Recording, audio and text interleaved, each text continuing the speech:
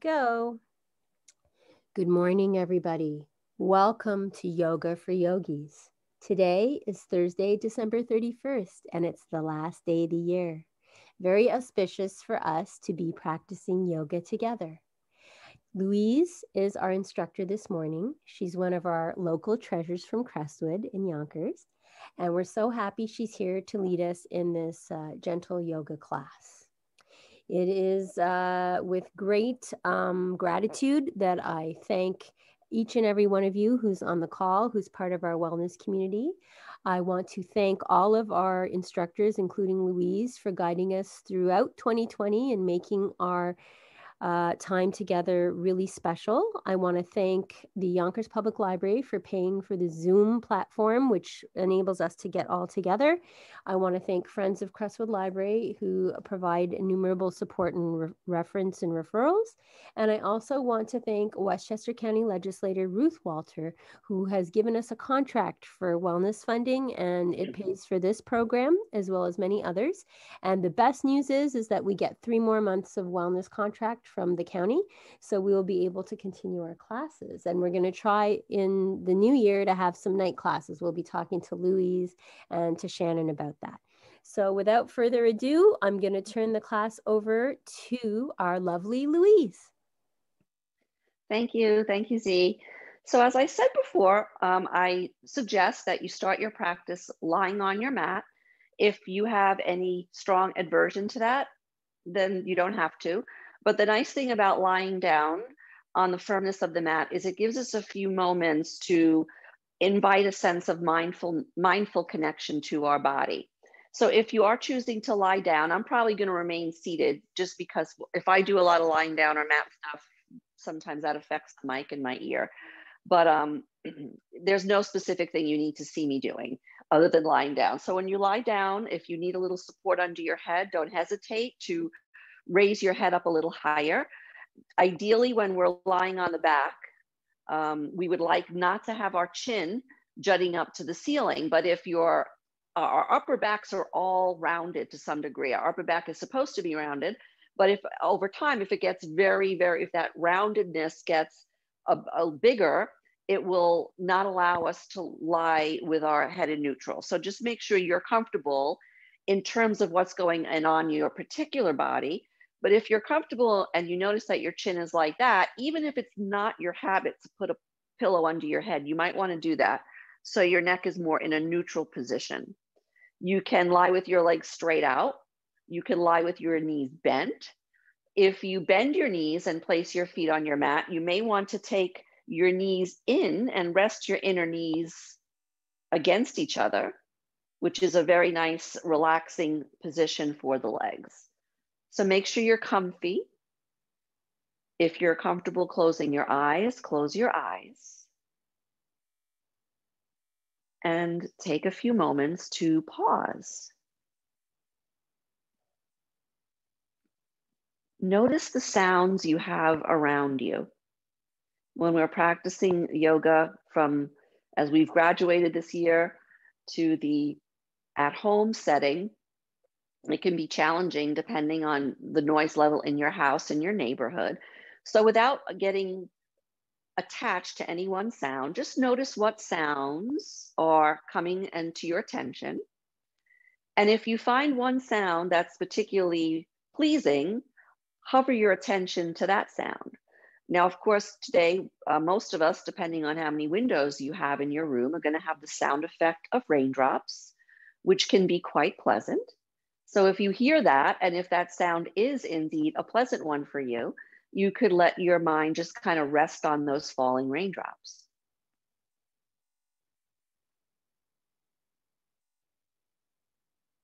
And as you focus on one pleasing sound, if there were sounds that weren't so pleasing, they might fade into the background, even though they are still there, they're not going away, but you're becoming more pointed in your focus. And that's a part, a big part of what we do in yoga. We uh, be, be, learn to become more mindful. and direct our focus to one specific point.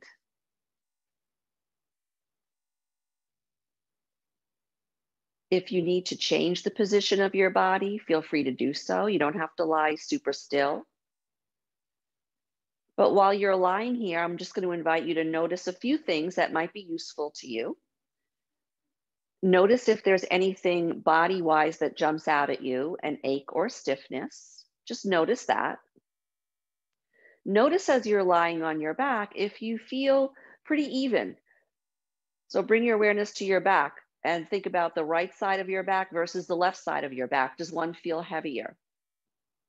Notice that. Notice if you're on the back of your head or if you habitually have your head turned a little bit to one side. Sometimes we sleep with the head turned and that creates stiffness later on. So just notice if your head is even from right to left. Invite your breath to be soft, smooth, and even.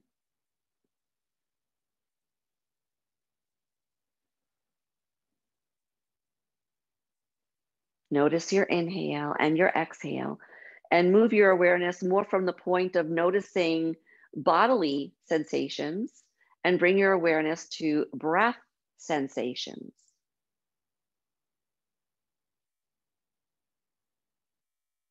What is the passageway of your breath like today? Think of your breath as a little stream, and I'm kind of lucky, uh, except on heavy rain days. I do have a creek not on my property, but in the back of my yard. Not so lucky because on rainy days it, it can flood. But so we have this little creek in the back of our yard, which I enjoy watching when I can. And just a little creek has a fair amount of movement. So your breath might be very smooth, a very clear creek, a clear body of water, but maybe there's a tree branch that fell into the creek, and thus there's some blockage in the passageway of your breath. You may have blockages in the nose, in the throat, or in any other structures involved in your breathing. So just notice that. Notice what you're working with without judgment.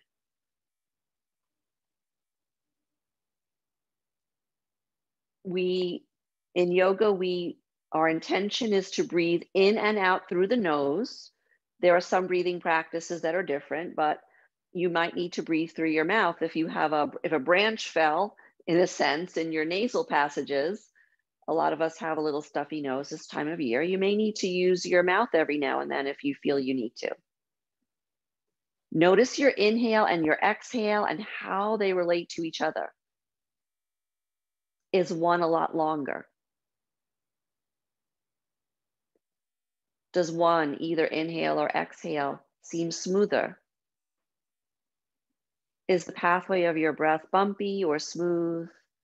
And know that whether, no matter what's going on with the pathway of your breath, it is your breath and it is delicious. Stay present with your breath for another few moments. Notice if the inhale and the exhale are about the same in length, or if one is a lot longer than the other. There's no wrong or right, really. As long as you're breathing, you're good.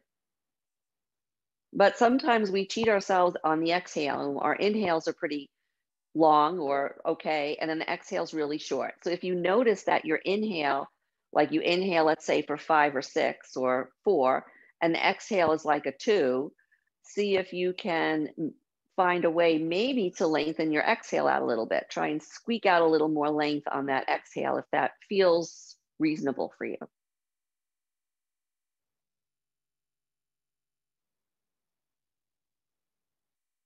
In a moment, we're going to start moving. One of the students who was here early mentioned low back, another student mentioned neck. So I'll keep those things in mind. But one nice thing to do for our low back, for our whole body really, and also to help dial our awareness into the core and, this, and how the core supports us is pelvic tilt and tucks, which I'm, I'm sure you've done often. So you can start with that whenever you're ready. I'm going to guide you through it and I will do a few. Um, hopefully, you won't need to see me so you don't have to change your position, but I'll do a few with you and then I'll come back to sitting. So for our pelvic tilt and tucks, first of all, if you had water nearby, which is good, it's good to have water nearby, make sure it's not in your way. you keep any padding that you have under your head, you can keep that. Now bend your knees if the legs are straight and set your feet a few inches apart. Might be kind of hard to see them, but you'll know if they're touching.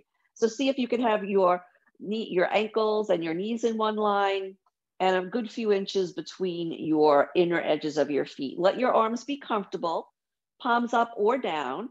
If you turn the palms up and rotate your arms externally, that's what we're doing. If the palms are down and then we start lifting the arms and rolling them so the back of the hand is down, we have externally rotated the arms, that makes a different connection in the upper back and how it meets the floor. So you might like that. And before, actually, before, if you start the pelvic tilt and tucks, that's fine. But before we do that, or if you started, just pause for a moment and turn your head just a smidgen to your right. So not the biggest turn. And just notice with this little smidgen of a neck turn, how your head feels, how your neck feels. Stay there, be soft for a moment. And then turn your head back to center and pause there. Feel the back of your skull heavy to the mat. Soften your gaze, soften your eyebrows. You can have your eyes partway closed as we do these movements. And then take a, like a quarter turn of your head to the left. And pause there and notice how that feels. Did the shoulders change when you turned your head to that side? Did one side turn with more ease than the other? It would be nice if we could improve that in our practice. Sometimes that happens, sometimes it doesn't. When you're ready, roll your head back to center Make sure your arms are comfortable. Inhale in place. And as you exhale, sink your low back down toward the mat. Keep a light touch to your feet. You don't have to do a lot of muscular energy here. You're just kind of suction, suction cupping the low back to the mat. And as you inhale, that'll release. The low back pulls right up into the body, and your low back curve comes right back in. So as you exhale, you draw your low back to the mat. That's the tuck part of the tilt and tuck. And as you inhale, you take the breath in and you release the suction cup activity. Low back lifts up into the body.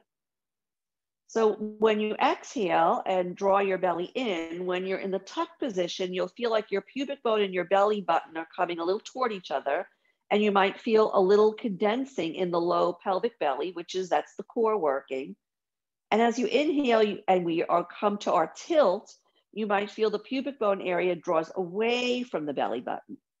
Try to keep your feet relaxed. I just noticed my toes were curling. So try and keep your feet flat to the mat. Try not to push into your feet. But if you like, you could add a little more zest to the core activity, not by a rigid sucking in of the belly, but since we are in winter and we had some snow, Think about snow. It's loose, it's all over the place, right? When you bring the snow together and make a snowball, it's still snow, but we've compacted it. And that's what we're doing here on the exhale. When you exhale and do your tuck, draw your low back curve down, the snow, in a sense, comes into a ball in the center of your low belly area. And it's the low belly, the sides of the belly, the belly button, that all gets kind of compacted. And then we inhale the ball of the snowball gets a little loose. And it's a nice snowball. It's not one we're throwing at anybody. So it's a nice, peaceful snowball. And you could do that a few times. Notice if your shoulders become rigid at any time. I tend to have tight shoulders, and sometimes as I'm doing this, my shoulders want to get involved. So you may have other parts of the body that are rigid, and tend to tense up. So just try to keep your body soft. If you feel that your shoulders and or neck are tensing, make your movement smaller. So it's a small movement regardless. We're not moving a lot in space. Nice and easeful. The next time you come to the tuck and your low back curve is drawing downward, pause there, but don't suspend your breath. Keep your breath flowing. Relax your toes Relax your fingers, backs of the shoulders heavy, keep breathing. And then when you're ready, on an inhale, just release the low back and just breathe naturally. And you might notice now, possibly, maybe, that your back feels a little different. Your low back curve might have been left a little less curvy. It might not be quite so pulled away from the mat you might notice that you, you might have experienced some stretching in that pose because when we're in the tuck position, we're broadening the low back. So that might have felt good if you have low back sensitivity. So just notice how you feel. And in a moment, we're going to come to sitting. So when you're ready, I might come up a little faster so I can observe everyone a little bit. But when you're ready, roll over to either side, whichever side you're more, more comfortable on, and stay there. Stay on your side. If I stay there, my earphone will come out. So stay on your most comfortable side, bend your knees, get nice and cozy, and just notice how you feel.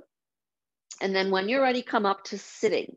Now, if you're sitting on your mat, you may want padding. Most people are more comfortable with padding. And it's not really because our tushy isn't comfortable. It's because when we're sitting, a lot of times, our, the, the curved part of the low back, which is our tilted position, is normal. But a lot of times when we're sitting, we lose the curve and we get a little rounded. So I'm trying trying to show you here that I'm, well, here I'm really pitching for it. I know none of you would be that. But now I've lost my curve. So I want to have that curve in my low back. And for many of us, not me so much because I, I do have a lot of natural uh, tushy padding, but sitting on a folded blanket can help your back be in a normal, your normal low back curve situation. So you're not um, slouching.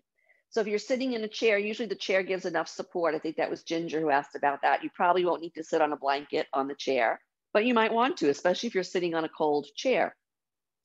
We're going to do a few movements. I'm sitting cross-legged. You don't have to. This is not comfortable for everyone. So you can sit with your legs in any position you like. You could touch the soles of your feet together. You can have one leg drawn into you and one leg out. And if you're sitting in the chair, I just suggest that you un well, not suggest, I ask that you don't cross your legs, but you probably know that for yoga anyway. Have your feet parallel. So just come to a comfortable seat. That's a lot of words to describe a comfortable seat. See if you can get a sense that you have sitting bones. There's a bony connection in the back of your pelvis to the mat and see if you can get a sense that you're sitting evenly from right to left. So a lot of us will list to one side without realizing it. Back of the neck should feel long and take that small little uh, tiny turn of your head to the right again, like we did on the mat, and just notice how that feels. Notice when you turn your head to the right, if the left shoulder wants to come along from the right, that's just a sign of tightness in that line where they're a little overly attached to each other. Bring your head back to center and pause. And to take a small turn, just a little turn of your head to the left. Notice how that feels in your neck. Notice how it feels anywhere else bring your head back to center, pause. And also as we sit, at any time where you need to change the, the position. So let's say we're sitting cross-legged for a while and that's becoming really uncomfortable. Change the leg position um, at all times because I'd like to do something with you that feels, I think, um, and hopefully you will feel it's nice on the shoulders, but we, um, we are sitting for a while. So when you're ready, join your hands together, palms together, and bring your thumb tips or the outer edges of your thumbs to your chest. So you're lifting your chest, you're lifting your heart center in a sense to your hands. Shoulder blades might feel like they're coming toward each other a little bit. See if your head can be neutral, not forward, back, or tipping to one side. And just pause here, close your eyes if you like, notice your breath.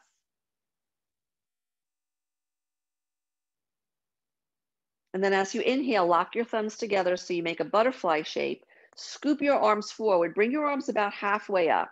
Pause, and as you bring your arms up overhead, just make sure you're not irritating any of your shoulders. If you've had shoulder surgery, your doctor might have told you don't lift that arm up. So take the arms up as high as they go comfortably, and then join the palms together. Notice if the fingers touch each other evenly, or if you need to shift a little bit for each finger to find its mate on the other hand. Bend your elbows, and maybe if the hands were above you, maybe you can rest the heel of your wrist on your hand. If your arms weren't that high, your hands might be by your forehead. Turn your head to the right again. And this time, tip your chin down just a smidgen, just a teeny little bit, and drop your eyes down. Bring your head back to center, eye center, head center, and then take a small turn of the head to the left. If it feels okay, drop the chin down just a smidgen, drop your gaze down. Gaze normal, chin parallel to the floor, head back to center. Reach the arms away from your head or your forehead. Good. And then lower your prayer pose and bring your prayer back to your heart center. Good. Now bring your hands down to your lap. Reach your right arm to the left, but not so much that you're turning the body. Just reach the right arm over there as if there was something there you wanted to grab and bring that down and reach the left arm over there and see if there's something you want to grab. And then bring both arms out in front of you about parallel about shoulder height. This is kind of one thing about this series of movement we're going to do. It can be a little annoying because it has a lot of steps, but hopefully it will be worth it. And just as a, a note, one um, you can rest your arms for a moment. If you're sitting cross-legged and cross-legged is comfortable for you, every now and then just change which leg is on front. So we don't want to be sitting in the same way the whole time. So take your arms out in front of you about parallel. Now take your right arm and reach your right hand over to the left palm. It might not touch. If it doesn't touch, bring your right your right hand your um, right hand a little closer. I'm sorry, I told you to bring your right hand to your left. I was doing the wrong side. So bring your right hand toward your left. And if the right hand does not reach the left without irritation in the shoulder, bring the left hand more to the midline. So the hands are touching. Now, wherever your right hand touched the left, slide the hand forward. So now the right hand is reaching a little further along the left hand. Take the right arm back to the star position. Bend your elbow, bring the back of your right hand to your forehead. Keep the left arm reaching forward and take a small turn, not so much of the head, but of your collarbones to the right. And the head is going to come along with you. Good. Then turn back forward. Release your right arm again. Bring it toward the left hand. Slide the right arm. Let me show how, you, show you how that looks from the side. So you bring the hand here and you can see my right fingertips are like by my um, top of my hand. And from my shoulder blade, I'm drawing the shoulders, the fingers a little more toward the other fingers, as you can see, or maybe you can see, but they're not quite touching. And then you separate the hands. But whoop, you fall off your prop. That was classy. Bend your elbow, take your hand to your forehead and open up. We're still on the same side. Turn the collarbones forward. Release your right hand, bring it down to your left hand, over to your left hand, slide the right hand along your left hand, bend elbow, back of the hand to the forehead, and turn open. Again, collarbone spinning. We're, you're twisting a little bit. Good. Come back to center. Now, this time, keep your hand glued to your forehead. Keep your right hand glued to your forehead. Your left arm might want to come down to rest for a moment. And we're going to do a few just like this. As you inhale, spin your collarbones, and maybe now you can feel you can spin the top of your breastbone to the right, but don't force it. Make sure you're, as you turn to the right, your left sitting bone is down. Come forward again. We're gonna do two more like that. Inhale and spin open to your right, little twist. Don't push it. Make sure your sitting bones are even. And then come forward once more. Pause here. And then inhale and open one more time. Good. Now, keep your uh, fingers on your forehead, but slowly turn your head forward. Good. Now, take your right hand to your shoulder and make some small circles. I might not make them so small because I want you to see it. So, small circles in one direction. If it bothers you, make them even smaller. And then pause and go in the other direction. These nice little small circles. Good. And then pause, release your hand, take your hands to your thighs. We still have another side to do. But before we do that, if you haven't changed your leg position yet, stretch your legs out. And uh, Ginger or anyone else sitting in a chair, you could stretch your legs out, roll your wrists around. You, um, excuse me, those aren't wrists, those are ankles. Roll your ankles around, roll your wrists around, do some interpretive stuff if you like. Roll your shoulders a little bit. And let's come back to the start position. Comfortable seat, legs in any position. You don't have to have them cross-legged at all. Lift your hands up roughly parallel. So the palms are looking at each other. So this time you're going to be doing your left arm. Now, when you take your left arm over to the right, if there's any pulling and the hand doesn't touch, bring your right, bring your other hand over to meet it. So don't strain with the arm, the side we're working on. So we're bringing our hand over. When we do that, we might feel a little stretch in the shoulder blades. So Satish, this is um, something I did this morning, which helped me a lot. So that's one of the reasons I'm asking you to do it. And then when you're ready, bend your left elbow, bring the back of your hand to your forehead and turn out to your second side to your left. Inhale here. And as you exhale, pull your belly in, come forward, extend your arm. reach the arm over to the arm, slide the left arm past the right a little bit, slide it along to get a stretch, then bend the elbow. I call this sometimes the woe is me position, back of the hand to the forehead. Take a little kind of turning of the collarbones. The head goes along for the ride. Good. Come back to the start position. One more time, release the arm, take it to the arm that's waiting, draw the, draw the waiting arm closer if it needs to, slide the arm, bend the elbow, hand to the forehead, open up. Now here, take your right arm, bring it down, let it rest a little bit. It's probably gonna be happy about that. Inhale a breath here, and as you exhale, turn the head forward, turn the shoulders forward, good. And inhale, take a small twist of the collarbones and maybe the top of the breastbone now Good. and come back to the start position forward. And then open up one more time, spinning over to your left. Good. Now from here, turn your head forward and it might be nice as you turn the head and it slides along the back of your fingertips. Now take your left hand, bring the fingertips to the left shoulder and do some small circles or big circles. This is the side I woke up with it hurting. So I'm gonna go really gentle here. Some really small circles on that side and then change the direction of your circles. Oh, it feels so good. And then pause there. and then bring the arm forward.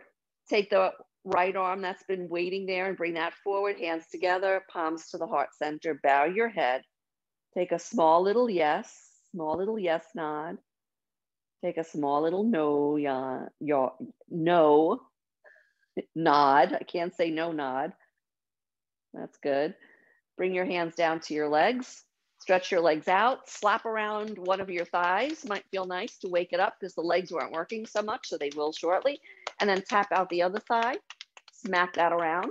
We're gonna make our way to standing. Now to come to standing, um, obviously if you're in a chair, you're just gonna come to standing. If you're sitting, there's a few ways you can come. You can do what I'm gonna do, which is I'm going to come to hands and knees, but you don't have to do it this way. Actually, you don't even have to come to hands and knees. You can come to what's called sometimes standing on your knees. And then you can take one foot forward. If you have a bad knee, bring the bad knee forward and then tuck the toes of the back leg, press your hands into your front thigh and come up to standing like so. I will need to adjust my screen a moment. I've done quite a bit of Zooming, and that's one thing I still have to do. And I am just going to futz with that. So make your way to standing. And as you do that, as you make your way to standing, uh, check in with your feet again. Apologize for the adjustment there. See that you're standing pretty evenly on your feet. So remember, when we were on our back, we were thinking about how does my back meet the mat? So now, how do your feet meet the mat? So get your feet roughly parallel. I'm going to adjust the screen again to be, uh, so my head isn't quite so cut off, but that's okay. I could be the headless yoga instructor. Let your arms drape by your sides.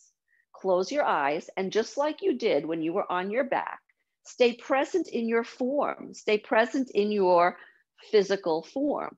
Notice if you feel, even though you know you're standing on two legs, right? Notice if you have more weight in your right leg or more weight in your left leg. So notice if you feel lopsided, you might not be, but you might be. Notice if your head, and if you could see yourself in the reflection, notice sometimes with Zoom, one nice thing about it, I can't seem to get this right today. With Zoom, we uh, notice things about ourselves like, oh, my head is always uh, kind of toward the right there. So notice that. Let your arms relax. When you're ready, bend your elbows, hands to your heart center. Inhale a breath here. And as you exhale, release your arms down by your side. As you inhale, bring your arms halfway up. And then, if it feels okay, stay uh, looking forward. If it feels okay, bring your arms all the way up or as high as you can go. And the right arm might lift up more than the left arm. So bring your arms up, join your hands together overhead, slide the hands down, hands to the heart center. Take a full breath in and a full breath out. Good. Inhale a breath here. Exhale, release your arms. Inhale, take your arms up again. As you exhale this time, sweep your arms wide, connect your hands to your hips, feel your feet underneath you, and bow forward into a forward bend. You can bend your knees a little bit if you need to. I have a very, looks like I'm wearing an apron. It's just the way the top fits. So keep the belly working in and up. And as you bow forward, keep your spine long. So make sure you're not curled in like this, like bringing the collarbones toward the pubic bone. Lengthen the collarbones away from the pubic bone. Now, as we do this, as our spine comes forward, what's happening? All the weight of the body is coming forward. So you might feel that there's more weight now on the toes or on the on the mounds of the toes. So find the back of your heels, find the back of your heels. You could keep your hands on your hips, or you could take the palms to the front of your thighs. Make sure the back of the neck is long, sides of the neck are long. Take a small turn of your head to the right here, just a tiny little turn, tiny little turn. Bring your head back to neutral, nose looking down. Take your head over to the other side, tiny little turn. Bring your head back to center. And as you inhale, as you come up, you can glide your arms up your legs or you can reverse your swan dive and come up to standing like that. Come back to mountain pose. I don't think I mentioned we were standing, we are in mountain pose to Tadasana. And mountain pose is very important because we bring the stability of our mountain into every pose that we do that is standing up. So now from here, let's come to a nice familiar pose that starts to get into a little bit more strength, strength, strength building. Take your feet a comfortable width apart. And by the way, um, some of you were using the chair to sit. If you have any kind of uh, balance issue or any injury, you could do this pose with a chair right in front of you. So the chair is there for you to hold on to, especially when we do a balance pose, that could be very useful. So we want the outer edges of our feet roughly parallel and the, the legs comfortably wide. Now, bring your awareness to your right leg. I'm sure you've done Warrior Two a million times, so I'm sorry if I'm giving you more, more detail than you like. From the inner upper thigh, spin that right leg out. You're not trying to spin it as far as you can because if you have a lot of flexibility in your hips, you could actually kind of turn it too far, which isn't ideal. So your, say your second toe might be looking to the wall on the right. That's a lot of turnout, but you might have your third toe, your leg might be a little in like this. So just know that there's a difference here from person to person, and we're not trying to be the same yogi. We are all individual yogis. Now, your other legs, that's your right leg. So now your left leg, turn that in a little bit. See if you can keep your heart looking forward, your gaze looking forward, and all the way down to the belly button looking forward. Now the hips are going to be a little tipped over to your right because of the asymmetrical leg position. Draw your hands to your heart center. As you inhale, feel the gentle lift of your chest. And as you exhale, bend your right knee. It could be a teeny bend, little itty bitty bend, or it could be a bigger bend. Do what's most comfortable for you. Make sure the knee doesn't jut past your ankle. Excuse me, make sure the knee doesn't jut like here's a jutting knee. It's like over my toenails, and that's not really all that comfortable. And then if it feels okay, unfold your arms like wings and then turn your gaze over toward your right. So you're looking toward your bent leg side. Check in with your feet. Do you feel that both legs are working for you? Do you feel the outer and inner edge of your bent leg foot, the outer and inner edge of your straight leg foot? Maybe you need want to bend your knee a little bit more than you did when you started. Maybe you want to bend it less. Maybe your arms are tired and you just want to bring them to your hips. Take two more breaths here if you can. Staying in the poses does help to build strength and stability in both muscles and bone but always come out sooner before I do if you need to. When you're ready, turn the palms up, find particularly that bent leg foot, press into that foot, slowly straighten that leg, bring the arms overhead, slide the hands to the heart center, parallel your feet. Sometimes when we're in the pose, particularly if we have like an old mat and it has a little slip to it, the legs go a little wider. So for the second side, adjust your feet, Maybe you want to go wider, maybe you want to go narrower. Either one is good. And then spin your left leg out. So we're going to the second side. Turn your right leg in a little bit.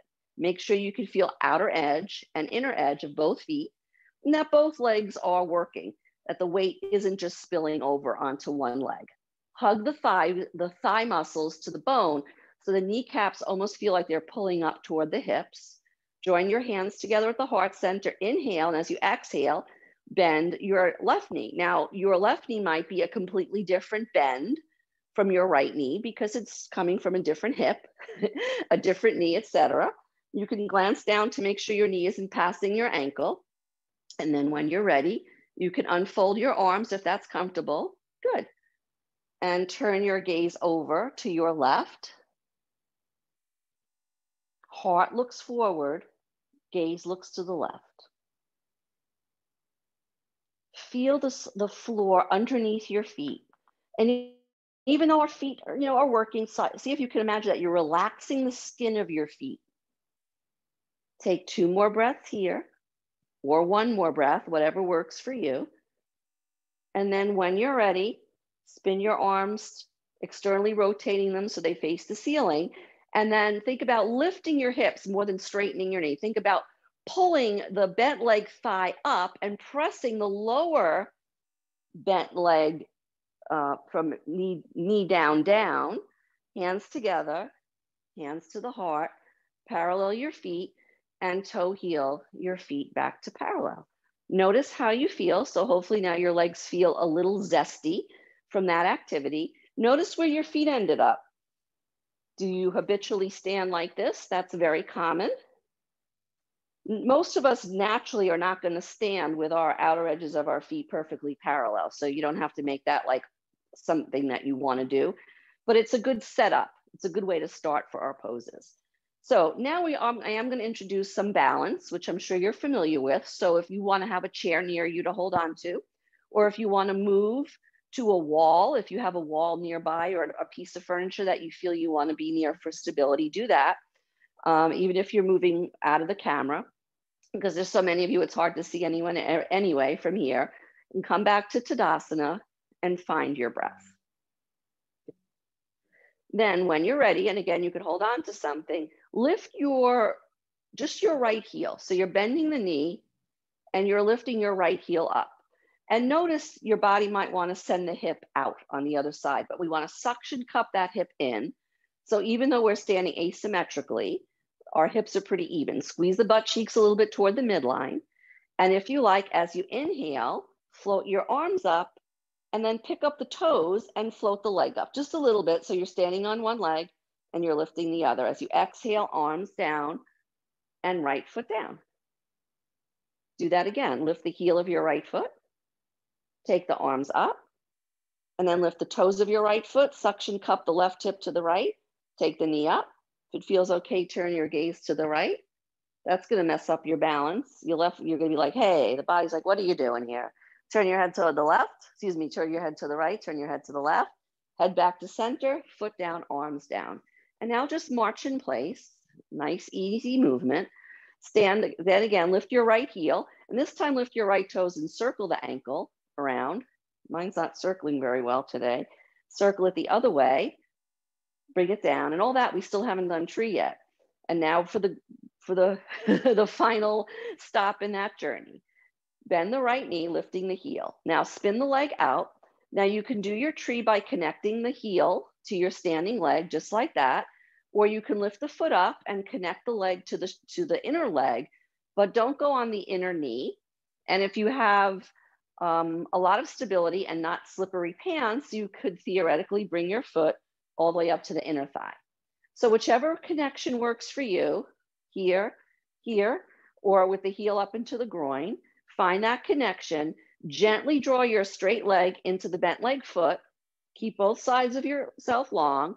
You could take both hands to the heart, or you could hold on to a wall or a chair with one or both hands. If it feels okay, you could take your arms up.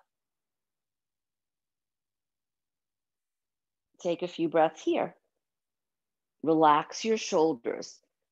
So even though there's, when our arms are lifted, there's going to be some lift, of course, in the shoulder blades, but we also want them to be relaxed. Don't set your gaze at me because every time I wobble, I'll wo- you'll wobble along with me. So set your gaze at something above the computer screen, something steady on the wall, like a picture or your window. And when you're ready, join your hands, hands to the heart. If you like, you can hover that leg for a moment and bring it forward, or maybe you couldn't wait to get it down, and I don't blame you. Shake your legs out a little bit. Good, good, good. Before we do the second side, I just want to come a little closer so I can see everyone, see if anyone's shaking a fist at me or if anyone has any questions, I don't know if I can unmute you for questions, but maybe I can. Um, every, so wave your hand wildly if you have a question, I guess. Or type it in. I don't know how that works. Yeah, people can use the chat and uh, you're a co-host, Louise, so you can unmute people. You can call on people to unmute if you want. Okay. Okay.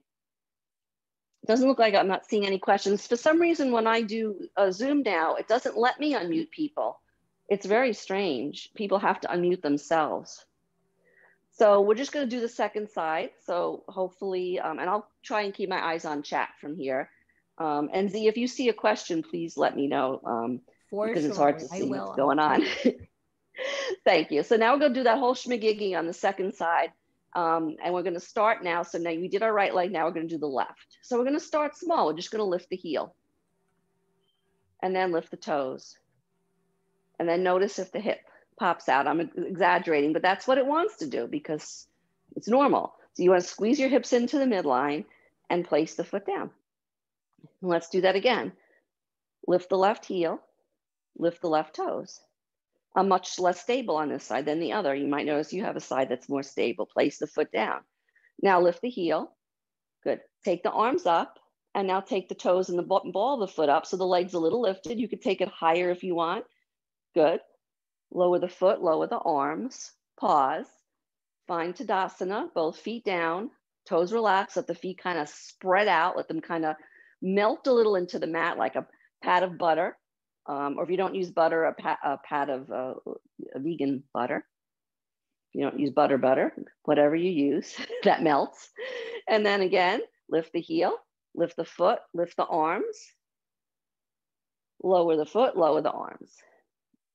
Now for tree, lift the heel. Now we add the turnout, spin the left leg out like we did in warrior two. It's the same mechanism. Connect the heel either to the shin. I'll just go through the, ple the places quickly um, with the toes on the floor or pick the foot completely up and kind of nestle it in toward the shin. Just make sure you're not pushing on the inner knee or you could bring the foot in toward your inner thigh. That never really works for me very well because it kind of just slides down. Choose what works for you. Find that connection. Find something to gaze at, your drishti, a place that can help you focus your gaze. You can keep your hands at your heart center, at your waist, or you could grow your branches. Know that our, our goal, maybe goal isn't the right word, but in tree, we're not trying to go for stillness, complete stillness. Like really like yoga, there's no end place that's okay, I get the gold medal now. Um, I'm in the end place. It's the journey. So all this this pose brings so much attention, focus, mindfulness. So there's a lot of working pieces here. And just like a regular tree, regular trees aren't still and rigid. We need the flexibility in both mind and body to know that our trees can tip a little bit and that's okay. Some days our trees will be very wavy, and some days they won't be. When you're ready, bring your hands together, slide your hands down. If you still feel comfortable standing on the, the one leg, you can just kind of lift your left leg up for a moment into a marching leg. Oh, and put the foot down. The feet are probably gonna be very happy. Shake your legs out a little bit. Feel free to come off your mat and move around in your house. That's the nice thing about yoga. You can walk, walk around. Nice thing about yoga on Zoom, you can walk around a little bit, shake it out, and then come back to Tadasana, come back to your mountain and notice how you feel. Close your eyes, sense your feet on the mat. Is the weight even? Do you feel one leg is longer? You might actually have one leg longer. Sometimes if I'm having a day where I feel very unbalanced, I feel like one leg, one leg is almost going through the floor. Do you feel more weight on one foot or the other? Maybe there's a reason for that. Maybe there's not a reason and you can adjust it so the weight is more even. Um, let's take a, a, down dog today and it's optional, you don't have to do it. So I'm gonna turn, so I'm on the, so you wanna have the length of your mat working for you here. And stand in about the middle of your mat, arms by your side, feet parallel. As you inhale, slide your arms forward and up. As you exhale, forward fold. We did this in the beginning, hands to the hips, bow forward. Now notice if your chin is like this and the back of the head is folded, that will make your neck unhappy. So lengthen out the back of your neck. Because I'm looking at the screen a lot, you might not be able to see that. But, and if you can, maybe fold a little bit more deeply, not by rounding the upper back, but by folding in those frontal hip creases. You can even slide some fingers into your frontal hip crease and use it as a guide. You can bend your knees. You don't have to have your legs straight. So here we are in this nice flat back position. Now to transfer to down dog, you slide your hands down. Of course, you can come to tabletop position and from tabletop set up down dog. If you're coming like this, you bend enough to get your palms down, plant your palms down, remove your glasses if you need to, and walk your feet back to Adho Mukha Svanasana.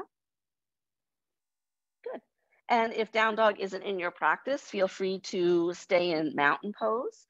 Now, um, get a sense of where your heels are in space without sagging the hip. Bend your right knee, but don't let the hip poke out. Bend the right knee just a little bit, keep the hip high, and stretch the lower left leg from below the knee to the calf. Stretch that down to the ankle. And then switch. Bend your left knee Bring your right leg to straight or straight-ish. Keep the left hip perky. Don't let it sag. You want to feel the hips are even. And slowly, even though the thigh of the right leg is, we think, I'm sorry, I think we're doing the left leg now, is pulling up, think about the lower leg, the heel reaching down. And then release the other heel down. Take one more breath here. Inhale, and as you exhale, gently bring your knees down toward the mat. So we're gonna stretch out onto the belly to get a little back bending in. So come to your belly. I will probably just demonstrate quickly and then I'll take you through it. If when you're lying on your belly, if you have sensitivity in the front of your hips, feel free to take a blanket or a towel and open it up so that when you're lying on your belly, you have something soft there.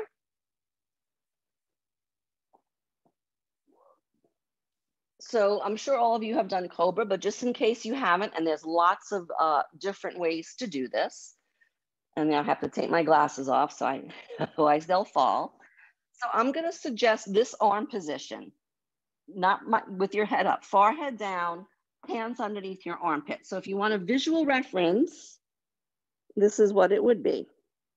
Naturally, when I'm talking to you, I'm lifting my head up, but it's not really good to do that um, on your neck. So the forehead is down, your hands are under your armpits. If you have wrist issues, like, and there's a lot of different kinds of wrist problems you can have, bring your forearms down like so. So whichever way your arms are gonna be, set them up like that. And then bring your awareness to your legs. So I'm just going to talk to you because if I bend down, that affects the sound. Set your arms to where they're going to be, either this, palms under the armpits, or forearms down, let the head go. Forehead down, but pay a little attention to your legs. So they might just be hanging out. So come to your right leg, firm the right butt cheek. Think about the leg being very active and the toenails clicking down. Now do the same with your left leg. Firm the left butt cheek, stretch the leg long. Kneecap should be pointing down, legs working. Now from here, as you inhale, press your toenails down, press your pubic bone down, lift your chest just a smidgen, draw the heart forward, and your head's gonna lift with the chest. Don't let the head lead the parade, so to speak. So you might not be lifted very high. Your cobra might be down here. Just make sure the legs are pulling back and the heart is drawing forward. If it feels okay, turn your head just a smidgen to your right and pause. Bring your head back to center. Turn your head a smidgen to the left and pause. And then with your head to the left, lower down. So you're gonna be on your right ear.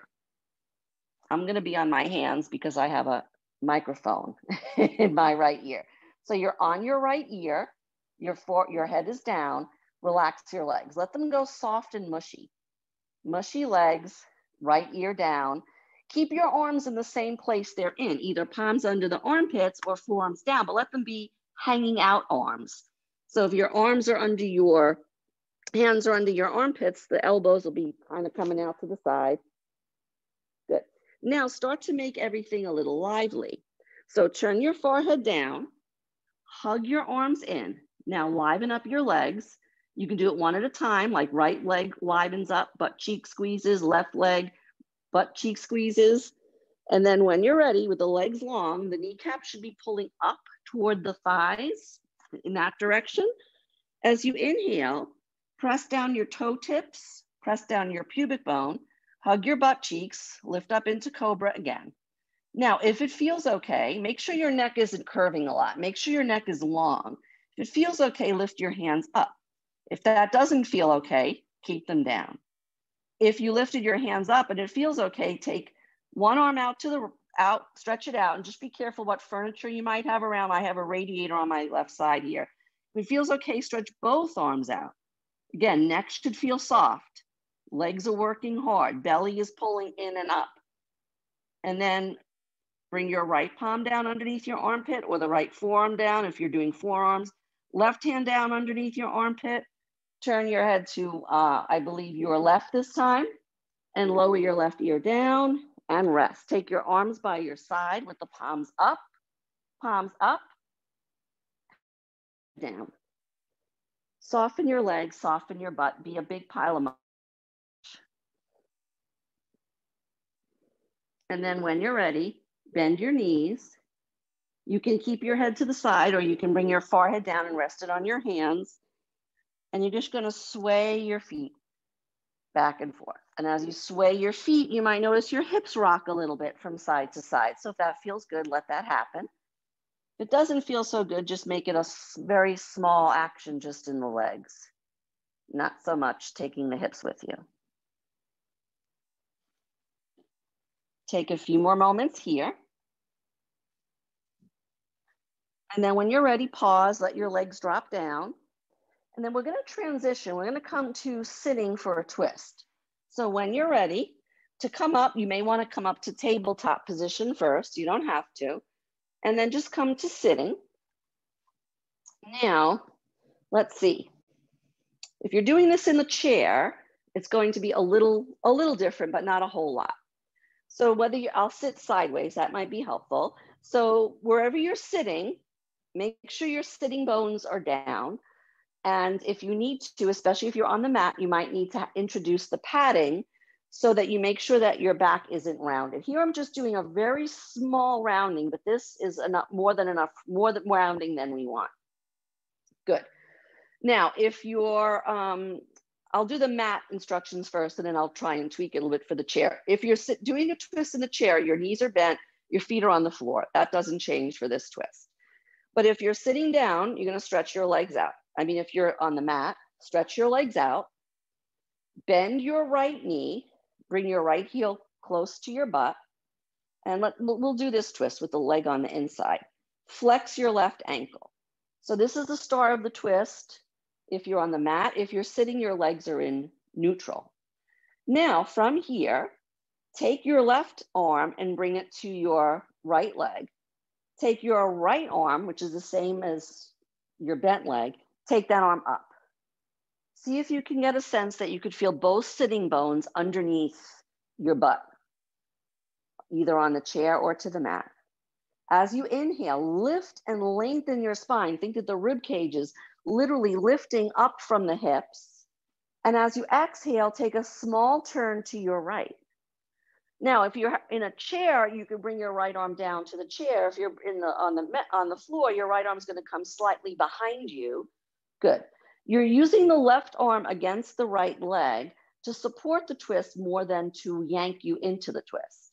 Each time you inhale, come back to the length of your spine, the beautiful length of your spine. And as you exhale without force and without leading with the head and the neck, spin your collarbones a little bit to your right. Take a few breaths here.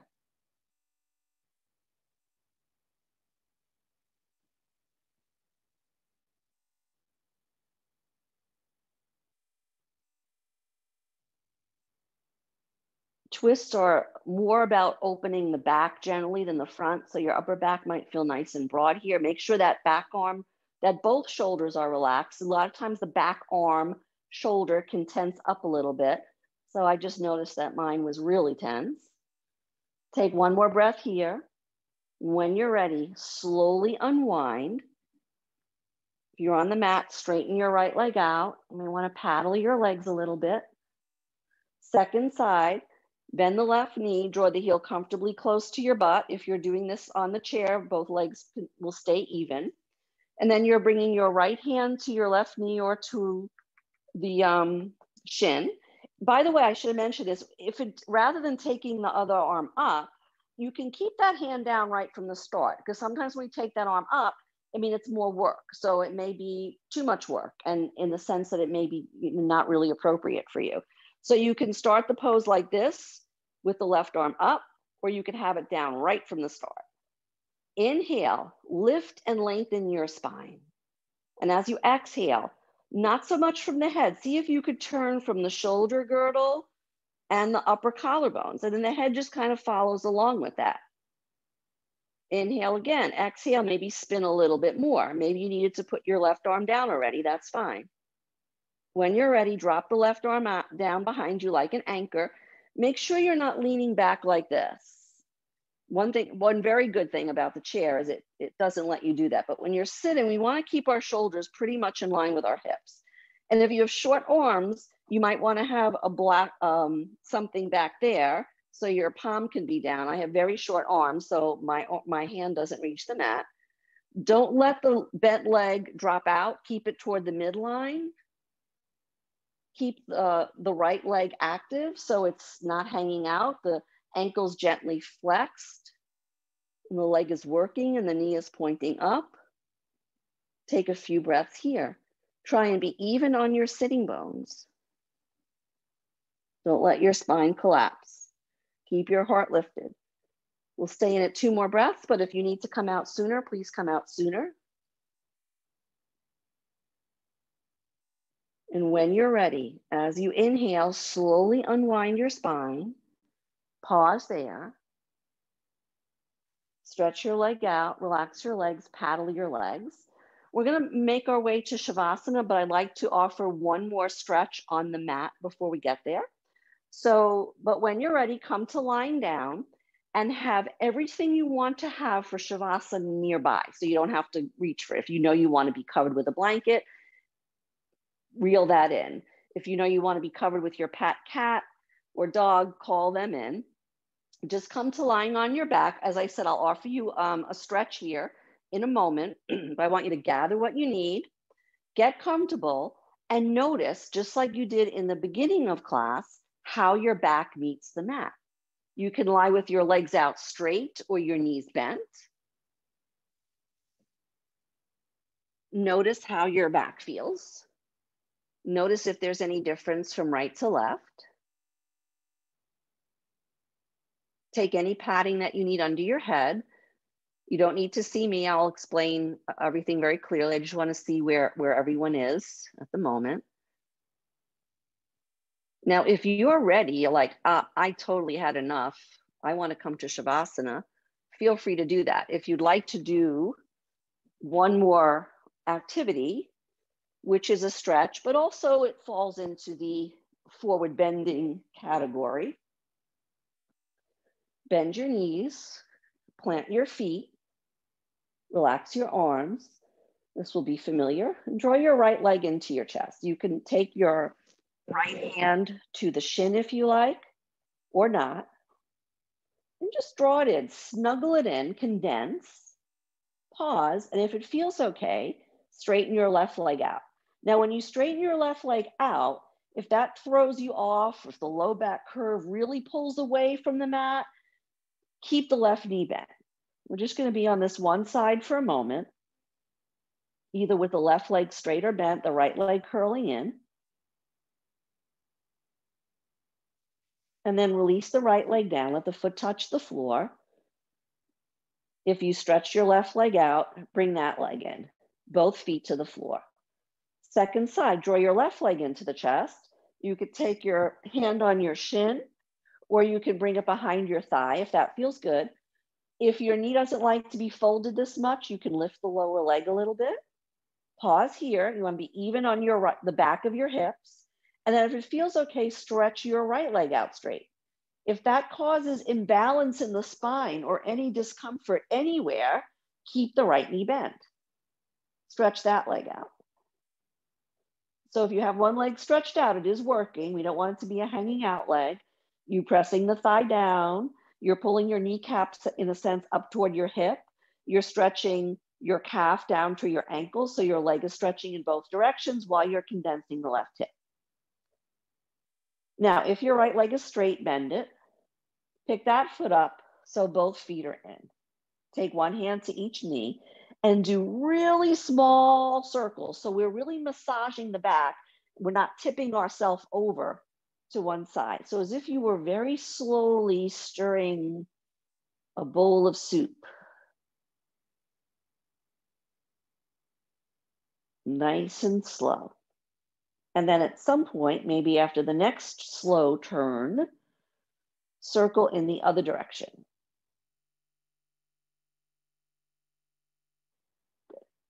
And then come back to center and pause. So you're in this nice little ball. You may want to come and stretch out into Shavasana right away. You may want to stretch your limbs out, one leg up at a time, or your arms out. You may want to yawn. And when you're ready, come to stillness. Come to lying on your mat. Get that blanket on top of you. Get your little dog or kitty on top of you. Sometimes I have that when I practice, and I know some people who have their pets with them. So get whatever you need to be comfortable. Close your eyes. Back where you started on your mat. Notice how you feel.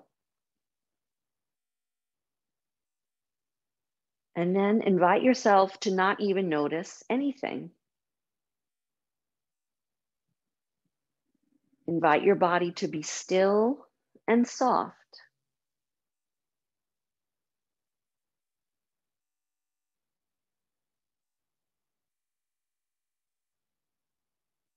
Surrender the weight of your head and all its thoughts and all its wisdom down to the surface underneath your head.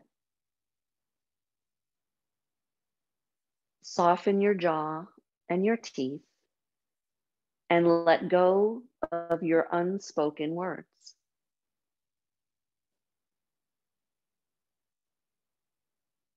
Notice your shoulders. Is there anything you can let go there? Relax your right shoulder away from your right ear, and the left shoulder away from the left ear.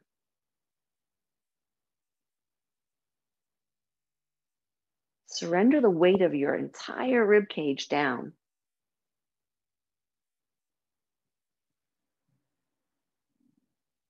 Allow your belly to be soft.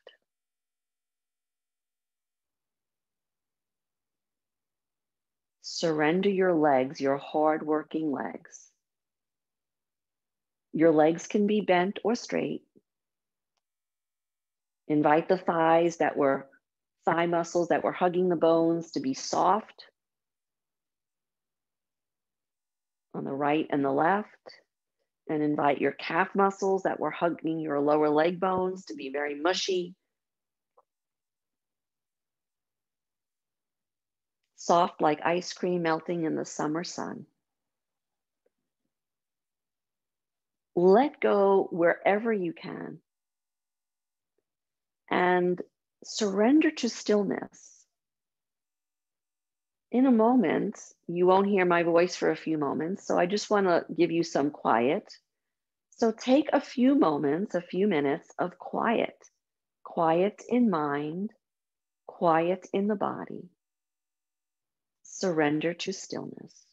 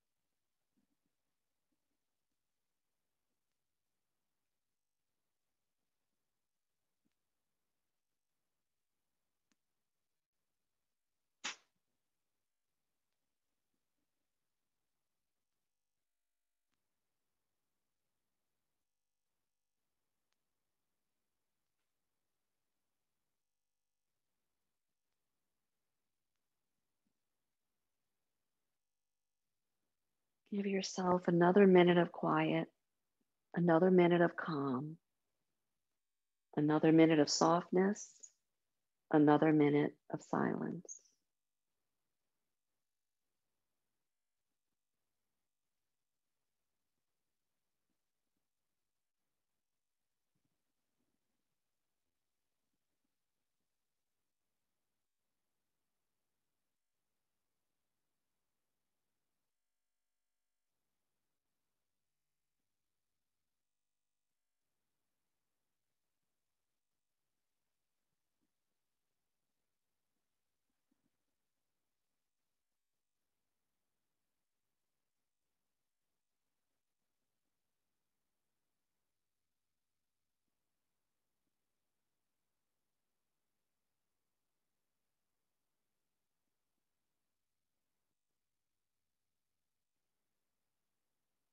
Keep your eyes closed and your body still, but bring your awareness back to your breath. And just take a moment to notice your breath as it rolls in and as it rolls out.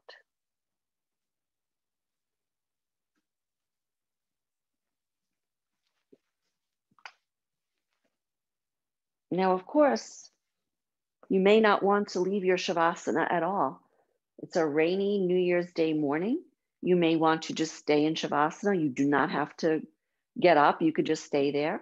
If you do choose to come out of Shavasana, move slowly, one little movement at a time until your knees are bent and your feet are on the mat.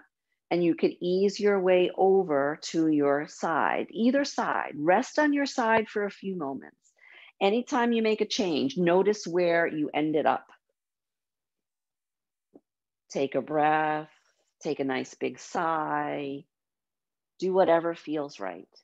And then, if and only if you would like to come back to a seated position, come back to a comfortable seat. I'm just going to be a little closer to the screen as we close, but you can stay lying down. That's fine too. Take any comfortable seat you like. You can rest with your hands on your thighs, or you can draw your hands to your heart center. You can drop your chin down, surrender the weight of your head down.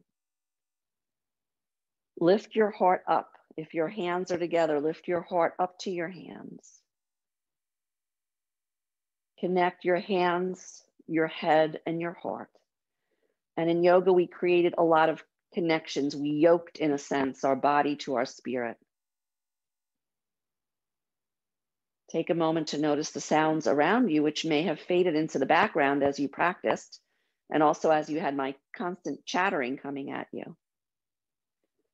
If you like, especially on this New Year's Day, offer this moment to gratitude.